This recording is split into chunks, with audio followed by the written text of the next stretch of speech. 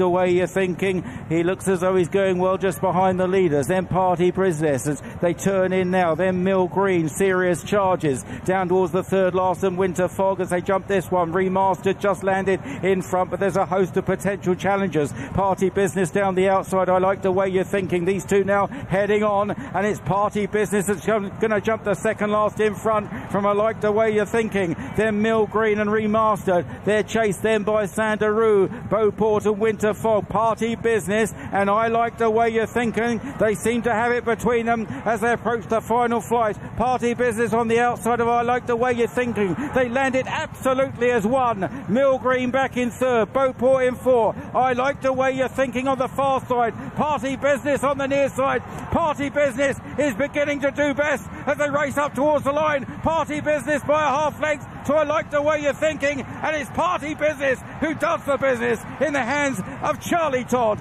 Sanrique was hampered. Stage Star has dropped right away. Three Stripe Life is being chased by Mai Tai in second. LA Bell a little flattening out back in third. Three Stripe Life from Mai Tai at the final flight. Three Stripe Life came up better.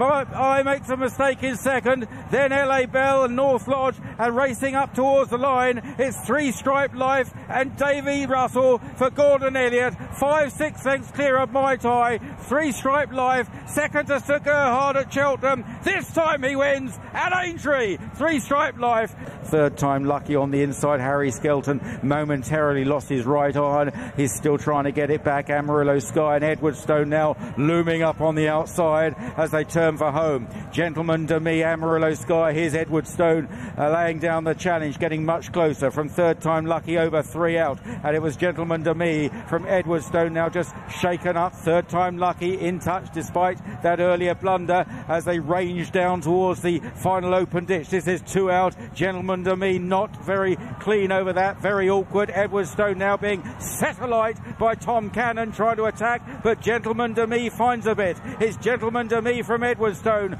Third time lucky cannot go on now. Edwardstone's going to need to find more because Gentleman to me is not stopping as they run towards the final fence. Gentleman to me up and over. Three and a half, four lengths clear of Edwardstone and racing up towards the line is Gentleman to me who's going to make just about all here in the hands of Mark Walsh in the Maghull Novices Chase.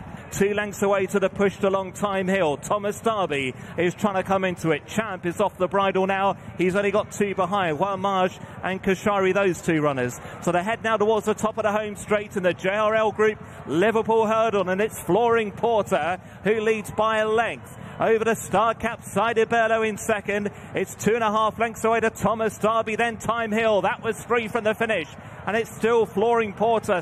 Berlais now pushed up to try and get on terms. On the way down towards the penultimate flight of hurdles. It's Flooring Porter. Steadies. Nearly joined in the air there by Berlais, who's now just about level with Flooring Porter on this run down towards the final of the 13 flights of hurdles. They've kicked right away then from Thomas Darby and Time Hill. Here comes the final jump now. Berlais, Flooring Porter. Berlais, perhaps just in front. Flooring Porter landed awkwardly. Sire Du Berlais and Flooring Porter to fight out the finish inside the final furlong. It's Sire Du Berlais by a length.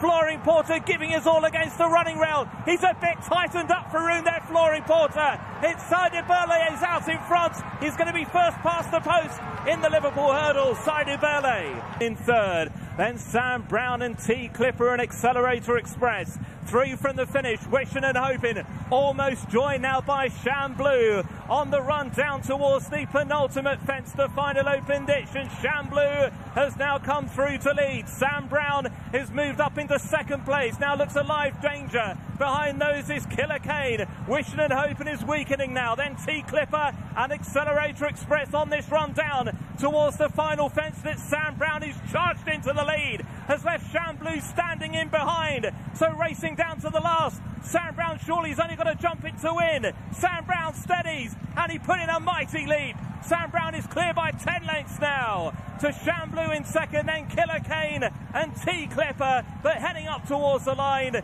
it's going to be a clear cut success for Sam Brown, for Anthony Honeyball, and home under Aidan Coleman.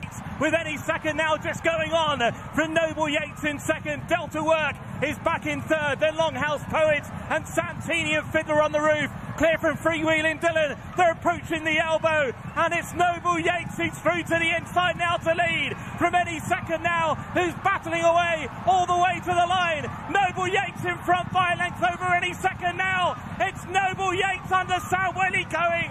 A fairy tale end to his career. Noble Yeats has won the National. And cruise control from Hulan Batordeche, who's certainly made ground between horses now just before the turn in. At which point Chianti Classico had a narrow advantage from leave of absence there towards the right hand side. Look away, still with every chance in the yellow and red. Those black and red silks are Prairie Wolf and then the grey Hulan Batordeche. Rascal Boy is certainly much closer now in the red and pink, spotting his big white face. Hullenbach's trying to stay on. Blow Your Wad has come from a long way off the gallop as well well. They're racing down towards the final quarter mile inside that mark. And it's Look Away is now hit the front from leave of absence. Rascal Boy up into third now. Hullenbach is still running on. They blow your wad. Batordeche is now beaten inside the final furlong. It is Look Away and Jack Quinlan who lead by a couple of lengths. Hullenbach is out after him. Then leave of absence and blow your wad. And then Rascal Boy closing up towards the line now with Look Away out in front.